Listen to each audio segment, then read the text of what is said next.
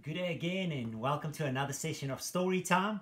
And I must ask apologies. Um, I had to have had this message out again uh, already yesterday, and I got caught up with um, stuff that we're doing for the worship team. Um, so sorry that it's out late, and thank you for your concerns. Uh, Lani gave me a message and asked, Where am I? Uh, she's worried about me, so I think she had visions of me being in hospital, but as you can see, I'm, I'm quite all right. I'm not coughing. I don't have the fever. So thank you for the Lord for that. Um, but yes, let me pray for us and then we'll jump into that session of first of three sessions around Mount Sinai. Lord, thank you so much. Thank you for the privilege of learning from your word. Thank you for the privilege of encouraging one another as we speak about it. And I pray for your revelation as we talk about this portion of Scripture and about your laws today in particular, Father God. I pray that we will hear your heart in every one of your instructions uh, to this nation that you called out for yourself. And I pray that you will give us revelation about how that speaks into our lives um, and what we must do with that in our day and time, having your law written on our heart. We trust you for revelation, Lord. Thank you. Amen. So let's maybe start by just recapping about the journey up until the mountain. And they moved from Egypt. It took them three months exactly to get to Mount Sinai. In the third month, they came to the mountain on exactly the same day as what they left. Um, and then they are going to camp around the mountain for the next two years. So we're going to break this up because the story sort of gets um, to a halt over here because it's two years at the mountains, there are not two years of story taking place. But we sort of have to read between the lines. What is God busy doing with the nation? So, first of all, today we're going to look at the laws. We're not going to discuss all the laws that there's given because there's there's a lot. But we're going to start to touch on the laws, starting with the Ten Commandments that the nation heard audibly at the mountain, and then looking at some of the laws that follow directly after that. In our next session, then, we will look at the instructions for the tabernacle, um, which will take up the greatest portion of the rest of Exodus for us. Um, so it's hard reading. Uh, let's talk about that in one session then. And then, thirdly, we'll um, get to where the books all fit in um, at this time, uh, because that makes the way that you're going to read them different if you know when do they speak into this 40 year period that we're about to look at. All right. Um, uh, so let's then start off in chapter 19. Um, at the start of chapter 19, then it says they came to the mountain. And um, remember that scripture that I keep quoting for us, Exodus chapter 3, that says, I will be with you, and this will be the sign to you that it is I who have sent you. God speaking to Moses before he went back to Egypt. When you have brought the people out of Egypt, you will worship God on this mountain. Um, imagine what it would have meant to Moses as they came across, and on the horizon, this mountain appears. This promise of God renewed. You say, Ah, God has really spoken to me. I have heard the Lord because here's the promise fulfilled. He brought me and this entire nation back to meet with us on this mountain where I saw the burning bush way back there. And here they are then, camping around the mountain. And Moses went up to meet the Lord and then came back from the mountain to speak to the people and said, This is what the Lord says. He says, We must be a holy nation a royal priesthood called for his service, and he will be our God. And the people's answer is then given to Moses Yes, we will be that. Uh, we will obey the Lord. We will be his priests in this world. Consider what it means. You will be a royal priesthood. They serve as God's intercessors on the earth. That's the role of a priest priest is somebody that stands in the gap for somebody else, that comes to meet with God on behalf of somebody else, that brings a sacrifice on behalf of somebody else, or brings intercession. Uh, they are saying, Yes, we will be that. We will be a nation of intercessors for this world. On behalf of this world, we will stand in the gap for you. Um, and then Moses went up on the mountain again and brought this answer back to God and said, This is what the people say. So he is now the mediator, going up and down the mountain. And we're going to see him going up and down several times, but not always alone. He goes up on the mountain and says, This is what the people say. Then God says, All right, I want you to go down and tell the people that in three days' time, I'm going to have a meeting with them. And they will audibly hear my voice speak to you, so that they will not doubt that I'm God. Wow. They've already seen the, the 10 plagues. They've seen the signs that Moses throwing down his stick and it becomes a snake and pick it up again, and the hand and the side. All of these miracles they've seen. They've seen the Red Sea open up. They come through the Red Sea and then they see um, brackish water turn sweet that they can drink it. Uh, they see manna come down from heaven, food that nobody's ever seen before. They've seen quail blown in for the entire nation on a wind. And uh, they've seen a, water running from a rock uh, in a desert, enough to water the entire nation. They've seen all of these things, and now God says, I will let them hear my voice so that they will know that I am God. God just continues to reveal himself. And we can take that to our own heart as well. In a relationship with God, God continually reveals himself to us. He makes himself known more and more and more as we walk with him. Uh, but this one is going to be something frightening. So he goes down the mountain, he says, Consecrate yourself, make yourself holy, restrain from certain things, uh, wash your clothes, because on the third day, God's going to meet with us. So on the third day, early the morning, they hear a trumpet blast, and there's lightning, and uh, there's thunder. The people get ready and they get to the foot of the mountain, and the mountain, the entire mountain, is trembling. Imagine it. Imagine us as Cape Town come together around Table Mountain, and the mountain trembles and there's lightning and there's thunder and there's this trumpet blast coming down from the mountain. And it just gets louder and louder and louder. And then moses goes up on the mountain and um, god says to him you go and better go and warn those people. Uh, if they come over a threshold onto the mountain they will die and God says, No, we've put perimeters around the mountains according to your instructions. They cannot come up the mountain, uh, they're safe. So they see Moses going up into this smoking mountain. And then God answers Moses from the mountain, and they hear his voice. And what do they hear? They hear chapter 20 of Exodus. Uh, many of us who have grown up in Reformed churches, we would have recited this on Sundays the Ten Commandments. They've heard it audibly from God's own mouth, spoken to them from the mountain. And then, as it comes to the end of that chapter 20, um, they actually plead with Moses. They says, "God, uh, please, um, don't let us hear this anymore. Speak to us yourself. Verse 19. We will listen, but do not uh, have God speak to us, or we will die. This is just too much for us. Verse 20 Moses said to the people, Do not be afraid. God has come to test you so that the fear of God will be with you to keep you from sinning.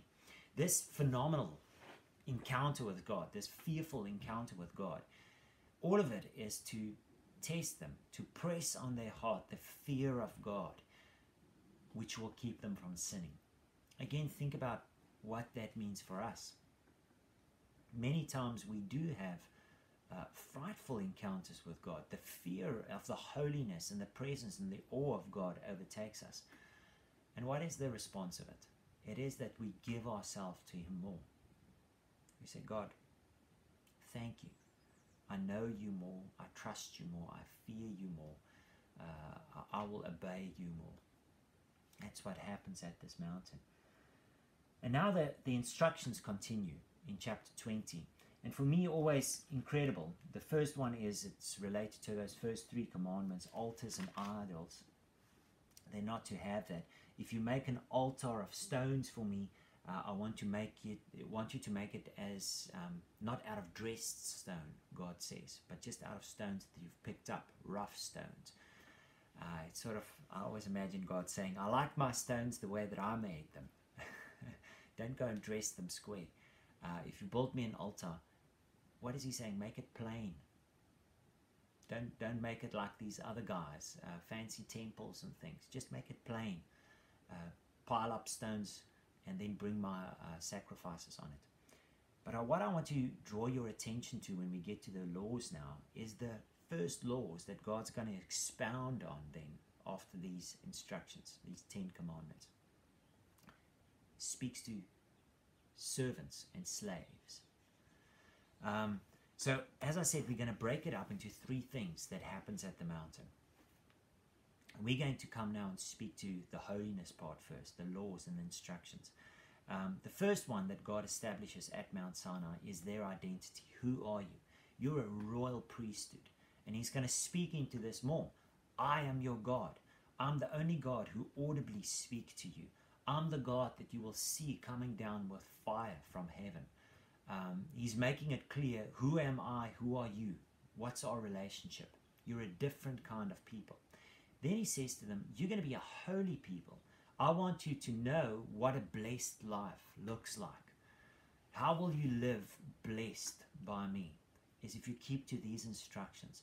And that's going to speak to the way they dress, it's going to speak to the way they do business, it's going to speak to the way they farm, um, it's going to speak to the food they eat. In absolutely everything, God's going to keep them, give them instructions. And He's making clear to them, you're not going to be like the Egyptians where you came from. You're not going to live like them.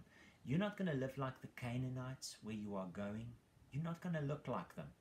This is what you're going to look like. For two years, I'm going to teach you and give you instructions um, how you will dress, how you will eat, uh, how you will speak, uh, how you will show honor to parents and to leaders, how you will do business, how you will behave towards the land that I'm going to give you. Um, all of these things, God's going to give them instructions holy living, just again, keep this in mind. Holy living is blessed living. All right? God is not trying to make them just look like different for the sake of being different. He, he's teaching them this is the way that I intended for humanity to live always, with one another, with me, with the earth, because that leads to blessing. And then the third thing is uh, God's going to speak to them about the tabernacle.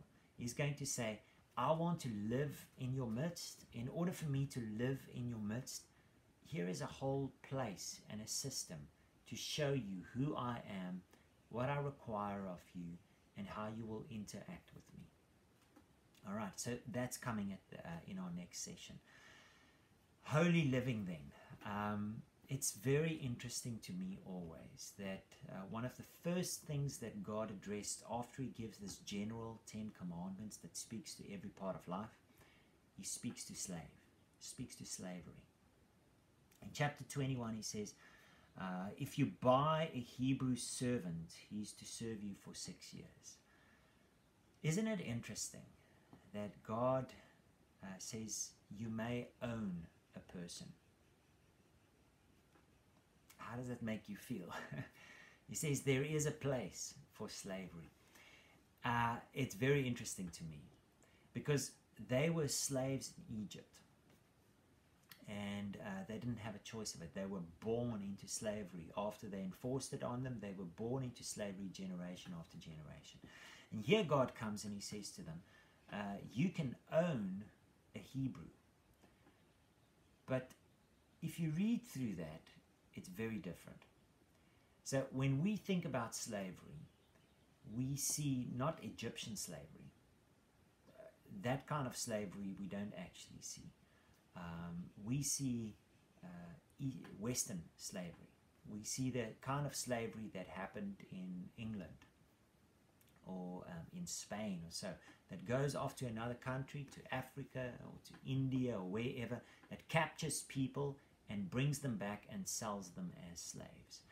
Um, to an extent, it's what happened in Egypt. It's just they were born there, and everybody from that race were naturally slaves. Uh, they never had to be bought, they were just owned by the people of Egypt. Now, to make it clear, God says, You are not to do that, Israelites. You are not to do that. Um, he actually tells them in uh, chapter 22, verse 21. He says, um, Do not mistreat an alien or oppress uh, him, for you were aliens in Egypt. He's saying, What the Egyptians did to you, you will not do. You won't do that to other people. If people from other lands come and stay with you, um, you will not mistreat them. Uh, as long as they uh, keep to the laws of the land, uh, they enjoy the same rights as you do as a nation. All right? Remember, people from other lands could become Israelites if they were circumcised and they kept to the instructions of God. Uh, so it's not even a bloodline thing. It's just you are consecrated. That what makes you an Israelite.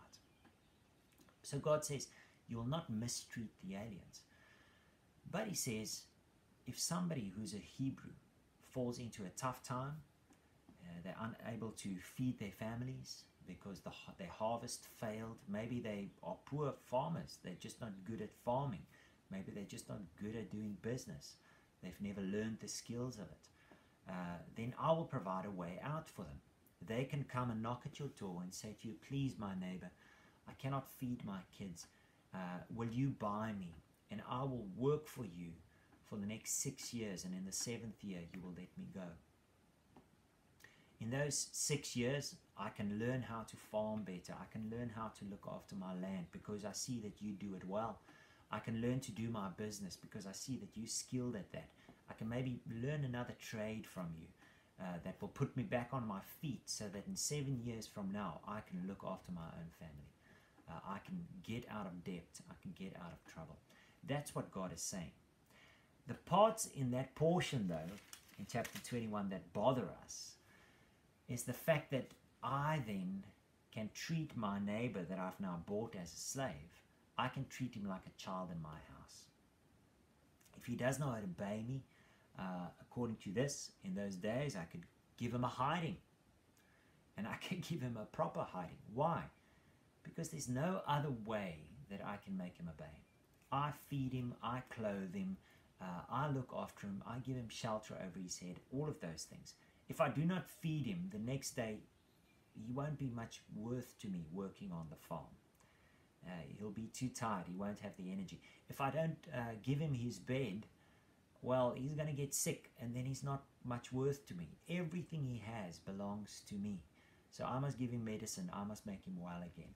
The only way I can get this man to obey me is if I give him a good hiding, just like I would have done with one of my kids over there.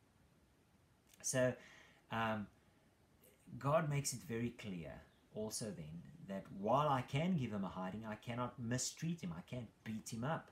I must be careful. I must behave well towards him as a master.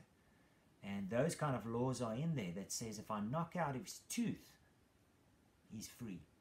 I bought him as a slave. I paid this money for him.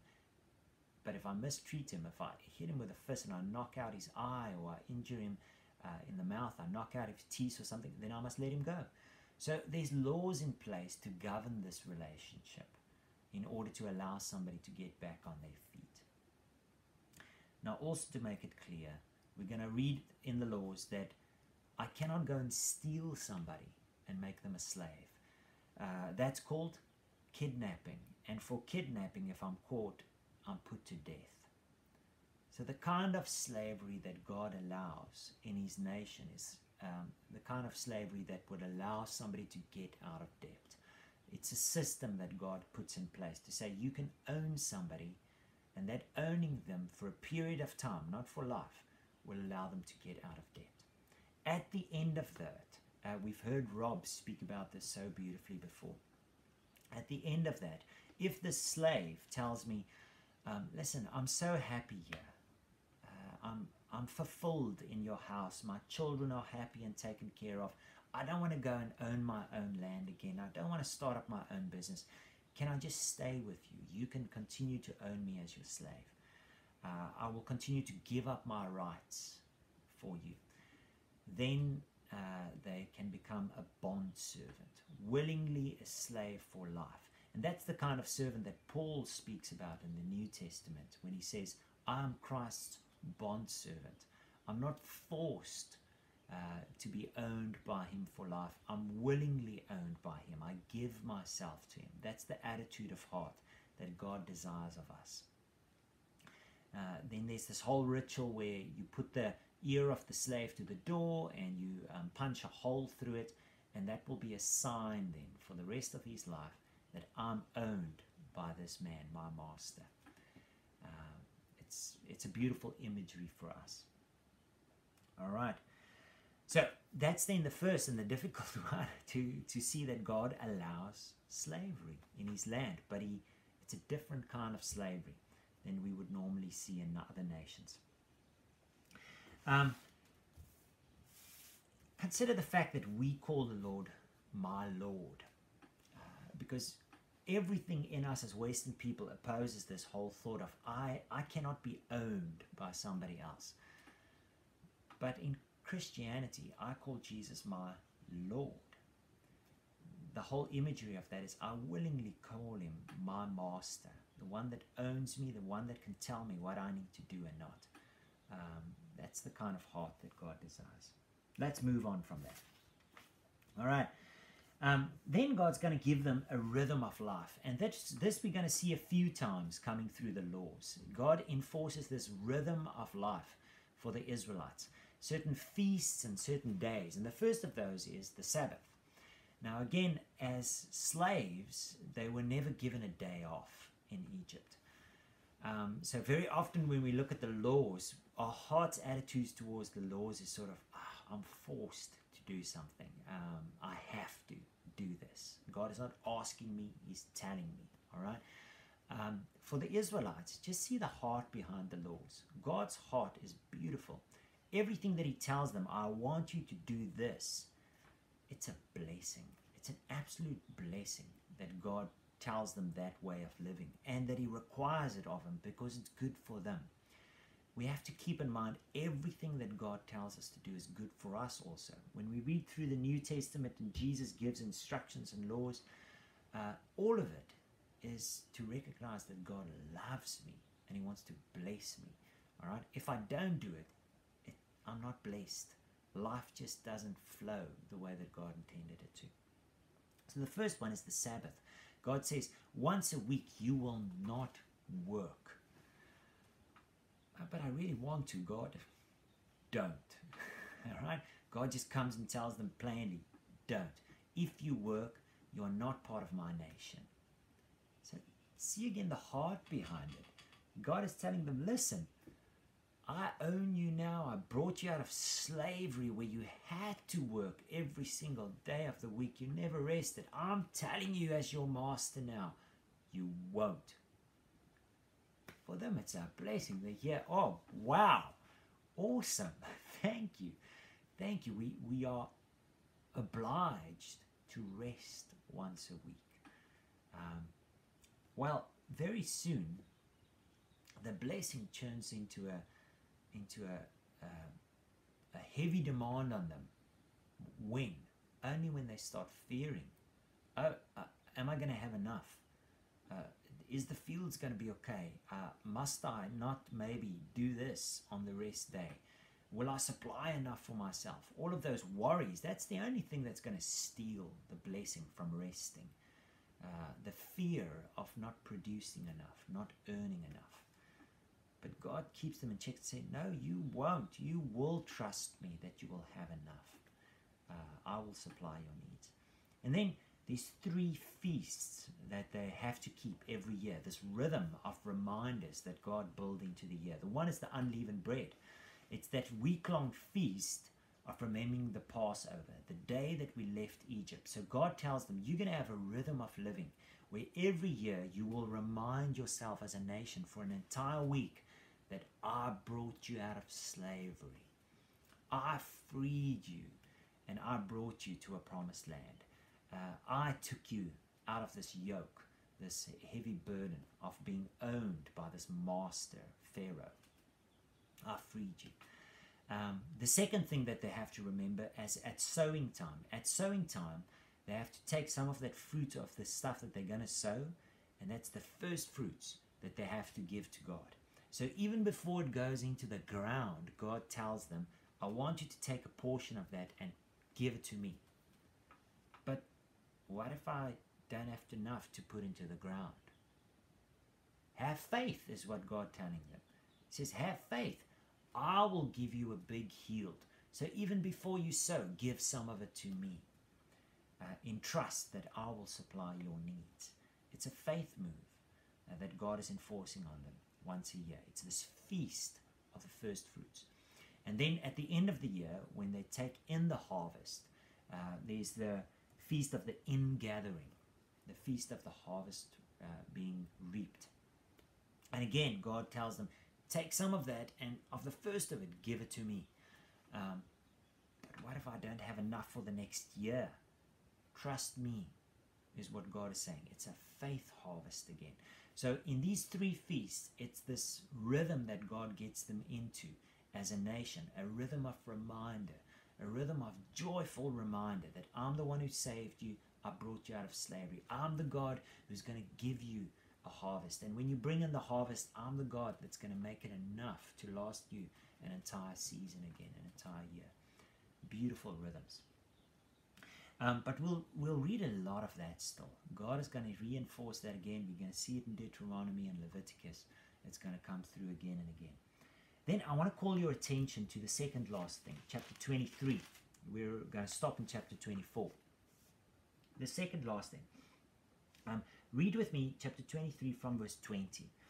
Um, See, I'm sending an angel ahead of you to guard you along the way and to bring you to the place that I've prepared. Pay attention to him and listen to what he says. Do not rebel against him. He will not forgive your rebellion, since my name is in him.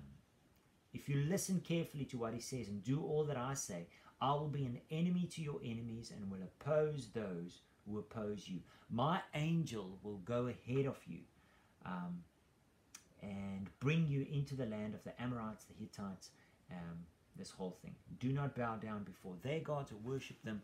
Worship me, the Lord says. Now, we're going to meet this angel along the way still. In fact, right as they go, um, uh, they're going to, as Moses is on the mountain, they're going to bring that, uh, build the calf, and then God's going to say, um, Moses, you better go down. We're going to speak about that because they are uh, building an altar to uh, an idol. And God says to Moses, I'm going to wipe them out. And then he says, But Lord, um, how will the people know that you are with us if you wipe them out? And then he says, Please go with us. If you don't go with us, I don't want to go alone. So Moses entreats the Lord for this and says, Please, you have to go with us. If you don't go with us, we don't want to go. Um, and we see that God fulfills that promise that an angel is going to go ahead of you. Uh, the head of the angel armies is going for you. And as they go into the promised land, Joshua meets this angel face to face. Uh, and he says, I'm the head of the angel armies. In other words, I've been with you for 40 years in this desert. Even though you don't see me every day, I'm with you. Now, the Lord is with us. And sometimes we don't recognize how physically He is with us, that His angel truly guards over us. He's really with us. And these people had to keep faith in this promise that there's an angel guarding our way, there's an angel um, looking out for us and taking us to the right place. And when they lost faith of that, things are bad. So beautiful. We're going to meet that angel along the way still. Now, in chapter 24, uh, they again have this powerful encounter with God. God says to Moses, I want you to come up to me again. Come up and meet with me again. So there's several times of up and down the mountain. Um, come up and meet with me again. But this time, I want you to bring with um, Aaron, your brother. He's going to be the high priest. Nadab and Abihu is going to be, uh, it's his two sons who's going to come with you. And then 70 of the elders. One of those elders is Joshua. Another one is Hur. We get some of their names. Um, come up and meet with me on the mountain. the Lord says. Now, early the next morning, uh, he gathered the nation around the mountain again, and Moses built an altar there uh, at the foot of the mountain. And he sent some of the young men, and they had to come and go and get um, sacrifices prepared and bring it to the Lord. So everybody's standing here at the foot of the mountain at the start of this this meeting, and then uh, God tells him in verse nine. He says, "When you come up the mountain, you and them will see me. You will see me." Now, up until this point, the nation have heard God, but now God's going to say, You, Aaron, and Nadab and Abihu, and 70 elders, 74 people will see me on the mountain. God is continuing the revelation of who He is. He's continuing to open up their eyes to who He is, not just through miracles and provision and wonders and all of these things, but then audibly hearing God and then seeing God um, he's in all of these their senses, he's building an image of who he is. Compare it again to all of the idols that the people worship. They're never seen, They're never heard, they never um, seen to do these wonders that God has got. God is showing himself to be very, very different from all the gods that the nations around them worship.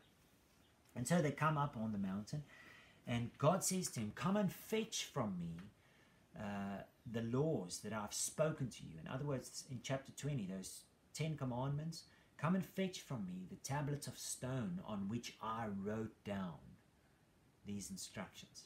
In other words, it's done, it's written down, come and get it from me. So they go up the mountain, and um, God then says to Moses and to Joshua, the two of them particularly, You guys come closer and let the, um, the Aaron, Nadab, Abihu, uh, and the 70 elders, let them wait over there for me, or the 69 elders now. And you guys come closer. But there, I read it to you, they saw the God of Israel. Moses and Aaron, Nadab and Abihu, and the 70 elders of Israel went up and saw the God of Israel. Under his feet was something like a pavement of sapphire, clear as the sky itself. But God did not raise his hand against these leaders of Israel. They saw God and they ate and they drank. There was this meeting, an intimate meeting with God. Now, this picture that they saw over there, for the rest of Scripture, we're going to see it again and again and again. Isaiah saw this picture of God sitting on his throne with a sapphire floor, clear as the sky. With that, the vision included also the four creatures around the throne, uh, with the faces filled with eyes and the six wings. Um, John saw this as well. Uh, Ezekiel saw this as well. Uh, now think about the scope of time, a hundred years uh, BAC. uh, John saw it. Over here, where we're sitting is the 1200 about uh, before Christ, and then in between Isaiah, Ezekiel, Daniel, uh, and yet this throne never changed. The scene of God on his throne on a sapphire floor, it never changed. Uh, kingdoms came and went, but this never changed. This God reigning from his throne never changed. The vision is still the same. And we too one day will see this and praise God, just like these guys, we will see it under the blood of Christ in His mercy, and we will live. We will live to continue to see this. This will be our, our foreland. and then Moses and Joshua went up closer into God's presence. And it says the people standing at the bottom uh, saw the glory of God coming down on the mountain, and it looked like fire, like a consuming fire on the mountain it covered the top of the mountain. And they saw Moses and Joshua going up into it. And then Moses remained on the mountain for 40 days. Uh, for six days, this glory cloud filled the mountain, this consuming fire. After six days, if I read it right, that left. but Moses and Joshua didn't come back. The 70 elders came back down the mountain, but Moses and Joshua was gone. And so, in the people mind, as we continue the story now uh, with the building of the calf, we're going to see that they think, What? He's dead. He's not coming back. The elders came back, and the fire, the consuming fire, is not seen anymore, but Moses is not back. And while Moses is receiving on top of the mountain these instructions for the tabernacle from God, there at the mountain, at the foot of the mountain, beside our leader is dead. He doesn't live anymore. And our God, where is he? The, the fire on the mountain is gone. What now? What now? And so they built this calf. After these incredible encounters with God, fear of being deserted, leaderless, godless in the desert overcomes them. And they built themselves an altar. And these stones that Moses went and fetched from God, and as he came down, he breaks it. So there we're going to pick up the story again. And God, we want to plead that um, you will call to mind those powerful encounters with you again. And I pray also for your conviction that you will call to mind in places where we forgot those encounters and we felt deserted in whatever way, we felt left behind and fear overcame us. And so we went to altars, we went to idols to try and find security in something other than you. Uh, speak to our hearts, Father God. And we just thank you, Lord, that your instructions to us is always to bless us, always, always to bless us. Whatever you call us into, Father God, is to bless us and to build us up and to give us a future um, and to make us a blessing to other people. We praise you for that, Father God. Amen. So, will you read then from chapter 25 onwards? Start to read some of the instructions uh, that God gives for the building of the tabernacle. Um, now, to help you with that, uh, we're going to read that this is how you must build it, God told him. And then the chapters following that's going to speak about, and they build it exactly that way. So there's a repetition of the instructions for the tabernacle. Um, I'll post on the group, I'll post a, a, a, picture just of the tabernacle so that you can, while you read through it, you can see it. Uh, and that's going to be our discussion then in the next session. Thank you. God bless you.